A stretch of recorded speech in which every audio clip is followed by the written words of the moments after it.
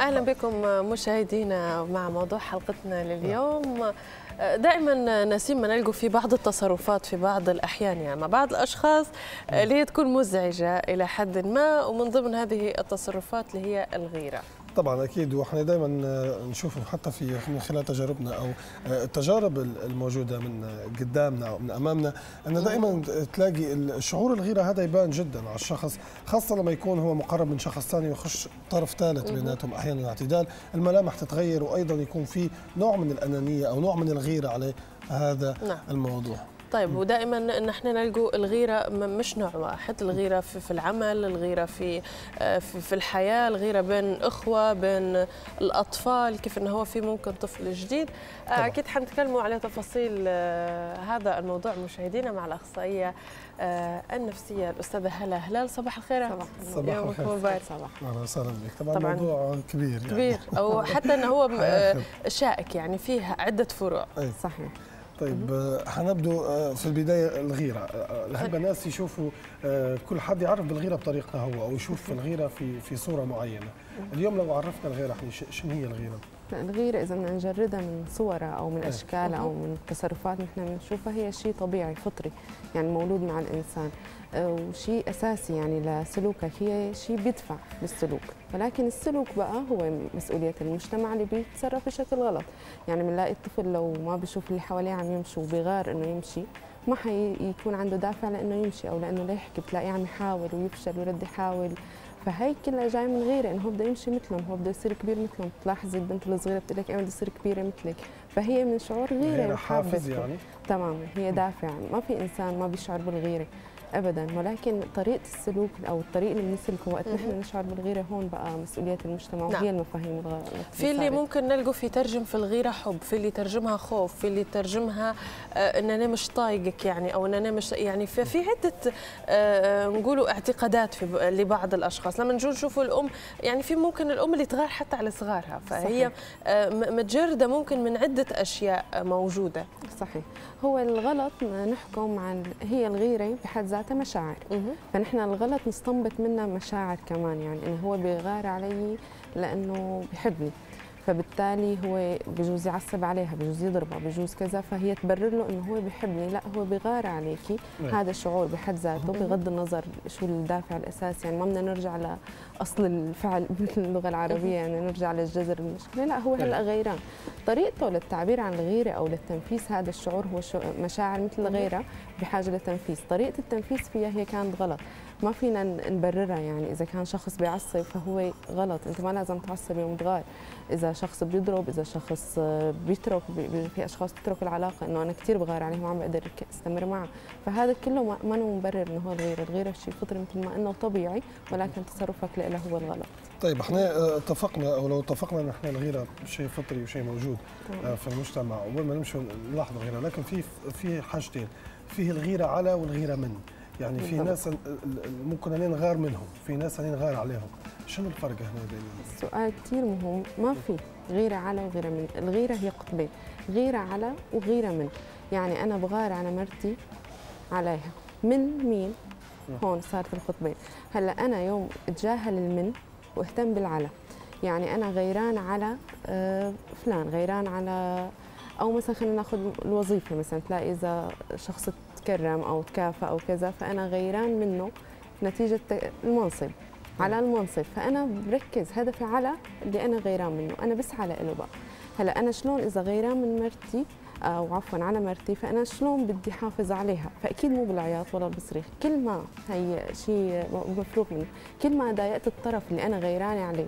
أو زعجت أو خنقته كل ما زادت نار الغيرة عندي زادت الدرجات عندي للغيرة ما انطفت أنا لاطفيها لازم أحس إنه هذا الشخص هو بده يعني هو اللي اللي متمسك فيه. فأنا كيف بدي أحس هذا الاحساس إذا ما أعطيته المودة والحب والدفء والعاطفة وإلى آخره. فهي اللي بتطفي نار الغيرة. بينما بنلاقي السلوك عكس نحن كمجتمع نعم. أو تربية تربينا على العكس. فهو بيعصب وبيخانق وإلى آخره. بالمثال الآخر اللي هو الوظيفة بتلاقيه خلص تحسس منه وصار يكرهه ويشتغل ليحفر له نحن نحكي بالسوري أو يوقعه أو كذا. فكمان هي ما حقق العلا اللي هي المكافأة أو اللي هي الوظيفة أو المرتبه اللي هو بده إياها. ودمر شخص بالتالي انعكست عليه اللي هي السيئة نعم. أو الشيء السيء. ضل بهي الدوامه وضلت الغيره شغالة على طول معه. طيب لو لو في آه، زي ما ذكرتي أنت صنفتي في على وفي من. وبالفعل يعني إنه هو لو في على وما فيش من. يعني انت غاير على بس ما فيش من من زي ما إحنا نقولوا بالليبي ممكن فيش حاجة أصلا تغار عليها يعني ما فيش مني مني بتغار عليه. فهنا ممكن هل يتحول بالفعل إلى حاجة؟ ممكن مرض نفسي ويحتاج انه هو يستشير طبيب أو انه هو يمشي لمختص أو إن هي برضه حن نحطوها مع موضوع الفطرة إن هي حاجة بالفطرة. هلا مستحيل يكون في على ما في من أو في من ما في على مستحيل. هاي الفكرة. مرتبطه هي الغيره قطبين من وعلى. مستحيل تلاقي بس ممكن تكون المن غير مبررة بتلاقيها مثلا بغار عليك من أمك. إنه سو ماتش بقى يعني مستحيل يكون هذا بيكون بقى هون مفهومه للحب هو الغيرة. هو ما عنده سبيل يعبر عنه للحب إلا الغيرة. فإنه أنا من الأغاني كمان اللي إيه. بتأثر إنه هو بغار عليها من أمه ومن ثيابها ومن الناس ومن وهم يتأثروا بالشيء هذا تماما. هي هي الأفكار السلبية بقى عن الغيرة. بتلاقي كمان بالطرف الآخر بتلاقي البنت أحيانا إذا ما بغار هو بتلاقيها متضايقة. هي بتخترع مواقف عشان تخليه هو يغار. إيه. كمان لأنه مفهومها للحب هي الغيرة. إذا هو ما غار هي بتعتبر إنه هو ما بيحبها. كمان قله ثقة بالنفس فأنا هو هذا بيسمى الابتزاز العاطفي. أنا يوم اخترع موقف كرمال شوفه بده يغار أو خليه يغار أو كذا فهي كلها عبارة عن مفاهيم غلط يعني نحن لو نضل على فطرتنا يعني كنا بألف نعم. إيه لو بسطنا الموضوع أكثر يعني أستاذ هلا لو خلينا خلينا الغيرة في في خلينا نقول في حصرناها في في جزئية معينة. كيف المفروض تكون الغيرة؟ الغيرة هي أنا مجرد ما شعرت تجاه هذا الشخص بالغيرة. هلا هي لها أول مذهب خلينا نقول المعايير. بتلاقي أحيانا هو انزعج ليش مرته ابتسمت بوجه الشخص الفلاني مثلا غار عليها هو. بتلاقي هي بمعتقدة برأيها إنه هي عم تبتسم صدقة إنه هي وشها بشوش إنه هي ما عندها أي نية أخرى. واحيانا تكون هي بال زي ما ذكرتي قبل شوية إنه هي بتحب يكون في رياكشن فهي لازم يتفقوا على معايير. إنه أنا ما بحب هيك أنا بحب هيك. يا هو بيقنع بكل شيء بأدق التفاصيل المصافحة السلام. بتلاقي حتى بالدين في أشخاص تقول لك لا المصافحة معلش وناس بتقول لا مو معلش. فهن لازم يتفقوا على المعايير إذا كانت بين الزوجين الغيرة. هاي المعايير الأولى اللي نحن ما بنحب نشوفها بيتفقوا عليها وصار الأمر. الجانب الآخر كمان إني أنا ما أحط سوء الظن. كمان هو من كثير شغلات. يعني أحيانا بتلاقي إنه حكت كلمة أنت قصدك يعني هي مدحت حدا. فهو بيبرر إنه هو قصده إنه أنا ماني مثله. فهذا سوء الظن مصيبة. مصيبة نفسية مصيبة على الأسرة كلها يعني أنا إذا يعني هي بتكون قصده شيء محدد. لا أنت قصدك. وعند النسوان لسه هي أكثر حقيقة. إنه أنت حكيت على أختك إنه منيحة يعني أنا ماني منيحة. هي الفقرة من وين جابتها ما حدا بيعرف. هي حطتها. فهذا الحكي انه سوء الظن المعايير لازم نكون متفقين عليها. هون بتبدا نفهم مفهوم الغيرة. ويوم نشعر بالغيرة نحن نعرف ليش غيراني ومن مين غيراني. على مين غيرانين نحن هون بقى؟ بنركز اهتمامنا كيف بدنا نتخلص من هذا الشعور؟ شو أنا لازم أحس حتى أرضي حالي؟ أكيد أنا يوم ضايقه وأزعجه وحس هو مو طايق العيشة معي ما حتنطفى غير الغيرة عندي. نعم. بالعكس يوم أنا أهتم فيه وأعطيه وحبه وحس إنه هو ما فينا يعيش بلا يسار أو أنا صرت شيء كثير جزء أساسي بحياته تنطفى هي. فأنا لازم أسعى لها لأنه لهذا الشيء الغيران عليه لأنه أنا أكيد هو ذو قيمة لأنه أنا غيران عليه. فأنا أكيد بدي أسعى له أو إني أعطيه أكثر من وقتي واهتمامي لأحصل عليه. بالتالي هذا الشعور بيروح. نعم. طيب لو تكلمنا على خلينا نتكلموا على الغيرة اللي هي ممكن تكون موجودة بين إخوات بين صحبات بين إحنا في منطلق ماشيين عليه في الحياة إن لطالما أنت صديقتي أو صاحبتي أو قريبة مني أو أختي ما ينفعش تغاري مني.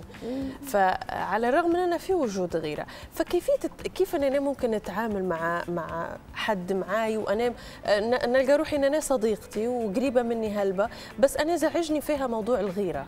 إن هي تغار من أبسط الأشياء من فكيف كيف نتعامل مع في الحالة هذه؟ إذا وصلت لك شعور الغيرة إنه هي غيرانة منك فهون طلعنا من الغيرة الفطرية الطبيعية أيه. لأنه أنا كشخص بغار منك أو إنه أنا حابة اكون مثلك فأنا بتلاقيني عم بسعى أو عم بسألك انت وين تعلمتي هي اللغة أو كيف لأنه أنا أتطور وصير من أنا عم اعتبرتك مثال خلينا نقول أو قدوة بالتالي أنا عم غاري وانت عم تنجحي فأنا عم بسعى لأنه ما في إنسان بيتمنى إنه الشخص الثاني يكون أفضل منه أه. هذا كلام مثالي وغير موجود أساسا أه. بالارض الواقع فاما إذا هي وصلت لك شعور غيرانه منك أو أنت صرتي تخافي تحكي شيء قدامها لأنه هي عم تضايقك أو عم تقلل من نجاحك كمان أحيانا بعد هون صارت وحدة سلبية وصارت لا تعاد حتى إنه صديقة.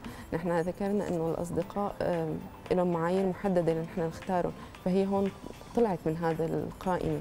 أما للغيرة بين الأخوات فهي مسؤولية الام بقى وهي هون نحن قلنا الغيرة فطرية ولكن سلوكياتنا الغلط. شو ساوى سلوكياتنا الغلط إلا التربية الخاطئة؟ أنا يوم شوف آه، ابني غيران من أخوه ما بجي بقول له أنت غيران منه لأنه أحسن منك أنت بحياتك ما حتجيب علامة مثله. فهون بالعكس عم يزود السلوك العدواني عنده ومفهوم الغيرة الغلط. إيه. أنا لازم أجي أقول له إنه أنت غيران ليش منه؟ بيقول لك لأنه جاب علامات أكثر فأنت غيران لأنه ما عندك علامات. طلع بقى أخوه من ساحة القتال أو العدائية. فأنت شو لازم صحيح. تعمل؟ ليصير عندك فهون بيبدأ نحدد له مسار الغيره ويتحكم بمشاعره وبصير بس يكبر من تلقائيا بدون آه، ما يتعرض للمواقف اللي نحن تعرضنا لها إيه. طيب لو خلينا جزئية ثانية أستاذة هلا. آه، الغيرة هل تعتبر جزء رئيسي في انه ينولد في داخلنا؟ قله الثقة والشك؟ لا ابدا. هي شيء محفز يعني ما إذا موجودة الغيرة لا هي لا مو بتعتبر. طيب ولكن بين بين الأشخاص اللي بيطلبوا الغيرة من الطرف الآخر. إيه؟ إن كان الرجل أو كذا فهو بده مرته تغار عليه لهو يحس إنه هو يعني موضع اهتمام. فهون هون مؤشر إلى قله ثقه بالعكس صحيح المرأة اللي بتطلب أو تحط مواقف لأنه زوجها غار عليها فهي أكيد قلة ثقة بنفسها لأنه هي حاسة يمكن أنه ما بتستاهل هذا الشخص فيوم يغار عليها بيثبت لها أنه هو بحبها معناتها هي كثير حدا مهم. طيب فهون يعتبر يعني مربوط ببعض الموضوع برضه. مربوط أي. ولكن يوم أنا أطلبه أو أنا أحس إنه ناقصني شيء إذا ما بغار علي هذا الشخص أو أنا بحسه بحبني بس ما بغار علي ابدا يوم حاسة إنه هذا نقص عندي فهون صار قله ثقة بالنفس. مع انه في ناس ممكن أستاذة هلا عذرا على المقاطعة انه في ناس تاخذ فيها يعني في ناس واعية وتاخذ الموضوع هذا تقول لك بالعكس يعني ممكن نلقوا حوار بين أي يعني زوز أو ثلاثة متجوزات وتحكي فتقول أنا مبسوطة إن أنا واثق فيا يعني في ناس تاخذها من منطلق الثقة وفي ناس تقعد لا يعني زي ما نقول إحنا تقعد تقولها لا انت هذا كيف ما يغارش وكيف؟ وفي اللي تنزعج. اعتدال ممكن كل الأمور هذه يربطوا فيها ببعض دائما خاصة النساء. إنه يعني ما مش مهتم بيه الاهتمام بقى بعيد شوي الاهتمام مفروغ منه لازم يكون موجود يعني, يعني. دائما مربوط ببعض اهتمام أما الثقة يعني شك قلة الثقة هذه الأشياء دائما مربوطة تجاه خاصة في العلاقات سواء كانت زوجيه أو اعتذار اللي ذكرته إنه في أشخاص بتقول لك لا هو واثق فيه ما بغار فيه. هي واثقة من نفسها هي أساسا. أما الشخص الآخر المثال اللي نحن عم نحكيه هو الشخص الغير واثق من نفسه اللي بده الغيرة من الطرف الآخر ليحس حاله إنه حلو أو ليحس حاله إنه هو موضع اهتمام أو إنه هو العالم عم تطلع عليه فبالتالي هو غار عليها أو العكس يعني. فهون هو ما عنده ثقة بنفسه.